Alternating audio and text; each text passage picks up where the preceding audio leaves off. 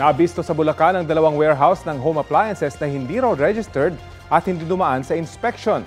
Balitang hatid ni Jamie Santos. Matapos makatanggap ng reklamo mula sa ilang consumer, agad nagkasa ng verification, validation, surveillance at test by ang Fair Trade Enforcement Bureau o FTEB ng DTI sa warehouse sa Plaridel, Bulacan. Nakita ang mga appliance na ibinebenta online na unregistered, unsafe at uncertified o hindi dumaan sa inspeksyon. Ilan sa unregistered appliance na nakita ang washing machine, oven toaster, blender, electric fan, rice cooker at multi-cooker checking, nakita natin na hindi lang po yung rice cooker ang merong uh, ang walang cer- hindi sertifikado sertifikado mula sa Bureau of Philippine Standards. So nakita po natin doon yung uh, mga blenders, washing machine, electric fan. So yun po. So nakasama po siya doon. Mahigit 9.3 million pesos ang halaga ng appliance na nasabat sa dalawang warehouse.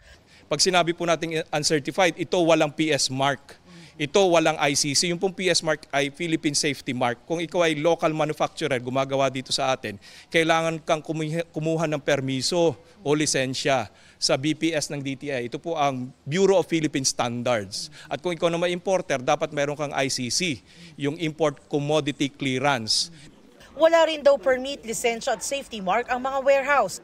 Hindi raw ligtas at dekalidad gamitin ang mga produktong nakuha rito.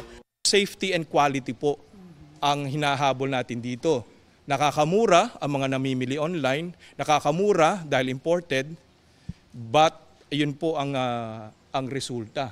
Unsafe at walang kalidad ng mga produkto. Ina-imagine nyo yung washing machine nyo o mga electric kettle nyo, mga mga panluto nyo, mga gamit nyo sa bahay. Hindi kayo nakakatiyak, maiwan nyo, baka sumabog, makasunog, baka pinsala sa buhay at ari-arian natin.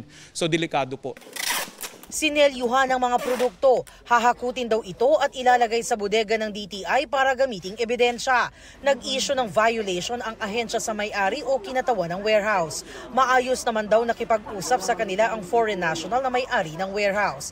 Handa naman daw siyang makipagtulungan sa DTI pero hindi na humarap at nagbigay ng pahayag sa media. Bago rito, isang warehouse sa Valenzuela City ang pinasok din ng FTEB na nakitaan din ng mga unregistered at uncertified appliance. Jamie Santos, nagbabalita para sa GMA Integrated News. Kapuso, alamin ang maiinit na balita. Bisitahin at mag-subscribe sa GMA Integrated News sa YouTube. Sa mga kapuso abroad, samahan nyo kami sa GMA Pinoy TV at sa www.gmanews.tv.